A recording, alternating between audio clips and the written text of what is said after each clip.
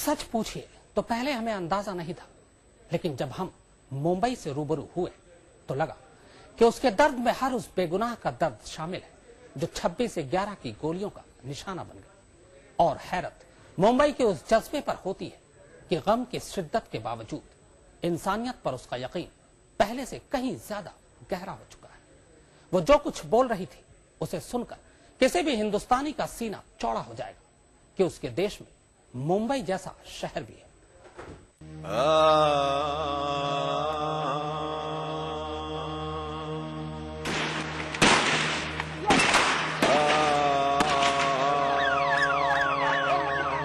आंसुओं का कोई मज़हब नहीं होता।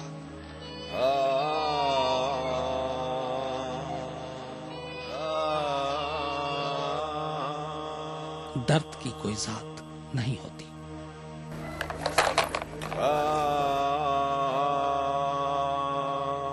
और गम का कोई इलाका नहीं होता।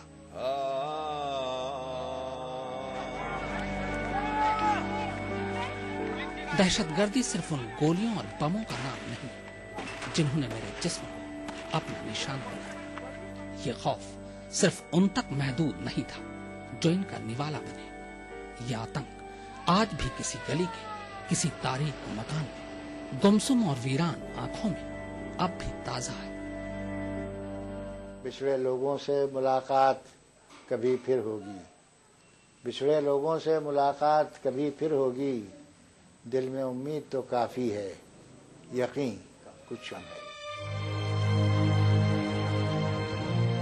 छब्बीस से ग्यारह के आतंकवादी हमले को महज उनसठ घंटे कहकर याद करना न सिर्फ़ मेरे साथ बल्कि उन तमाम लोगों के साथ नाइंसाफी होगी जिनका कोई वादा अधूरा रह गया।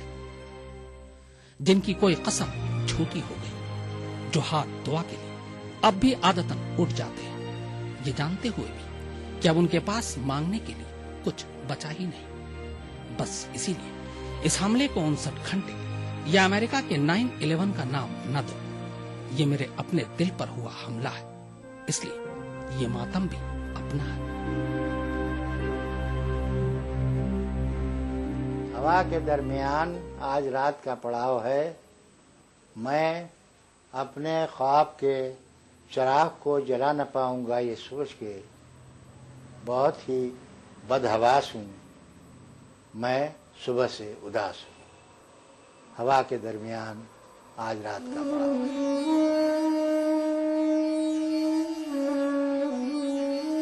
ये अपना ही मातम है। और ये बच्चा भी अपना है। मरने की उम्र इसकी भी नहीं थी। फिर इस माँ को देखकर एक बार मौत पर से भी यकीन उठ जाता है। ऐसा लगता है जैसे ये माँ अपने लाडले को पुचकार रही है। और लाडला बस किसी भी पल मौत की नींद से जाग उठेगा।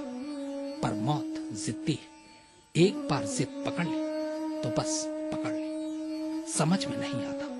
कि गोली बारूद की आँखों पर पट्टी क्यों बंधी होती? है अगर ये पट्टी नहीं होती तो वो भी इस माँ की ममता को देख पाता और फिर शायद फटता ही नहीं। और फटता तो शायद ये देखकर फटता कि कहीं किसी माँ का कोई लाल उसकी चपेट में तो नहीं आ रहा। पर क्या करें? आंसुओं का कोई मज़हब नहीं होता।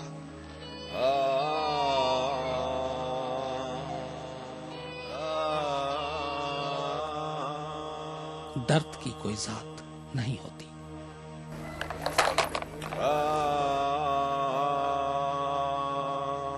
और गम का कोई इलाका नहीं होता।